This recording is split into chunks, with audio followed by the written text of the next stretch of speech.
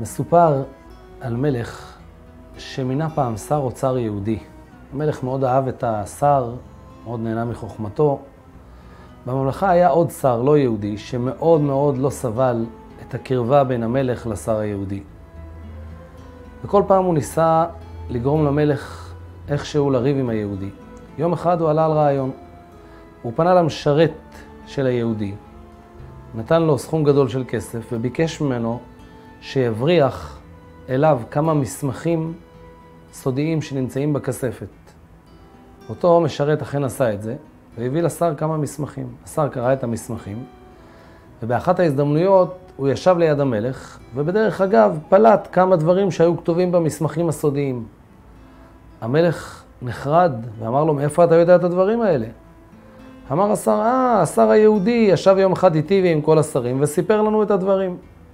המלך כמובן כעס מאוד והחליט להוציא להורג את השר היהודי. הוזמן את השר היהודי אליו, נתן לו מכתב ביד ואמר לו לקחת את זה לעיר הסמוכה לבית הכבשן.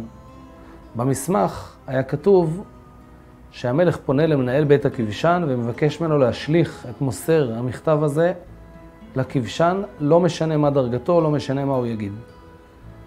השר שלנו יוצא בלב בוטח למשימה שהמלך הטיל עליו, ואיך שהוא מגיע לעיר הסמוכה, פוגש אותו יהודי.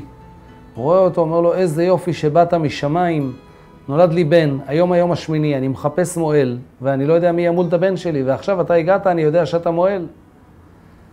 כבר היה שעת אחרי צהריים מאוחרת, והשר מתלבט, מצד אחד יש לו משימה מהמלך ללכת למסור בעצמו את המכתב, מצד שני יש כאן מצווה, והוא מחליט שמצווה של הקדוש ברוך הוא קודמת, הוא נותן למשרת שלו את המכתב, ואומר לו, תמסור את זה למנהל הכבשן, ותגיד לו שאני אגיע עוד שעה, ואני אדבר איתו.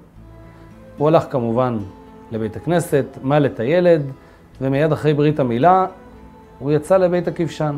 איך שהוא הגיע לכבשן, פוגש אותו המנהל ואומר לו, אין לך מה לדאוג, עשינו בדיוק, בדיוק את מה שהמלך אמר, והשלחנו את המשרת שלך לכבשן האש.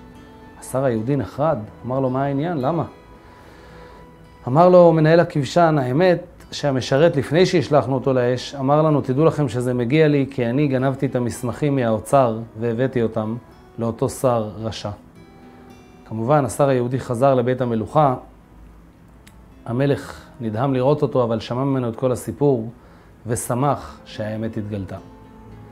בפרשת השבוע אנחנו קוראים על ברית המילה שאברהם אבינו עובר בציווי השם בגיל 99. ומתעוררת שאלה, אנחנו יודעים, חז"ל אומרים שהאבות קיימו את התורה ואת המצוות עוד לפני שניתנה.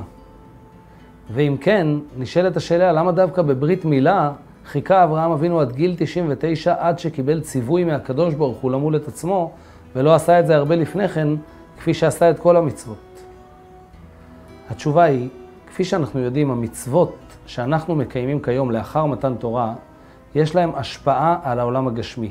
כשאנחנו משתמשים באור בשביל לעשות ממנו תפילין, כשאנחנו לוקחים צמר ועושים מהם ציצית, האור הגשמי, הצמר הגשמי, הופכים להיות קדושים.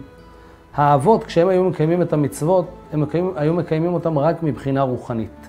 הדברים לא השפיעו על העולם הגשמי.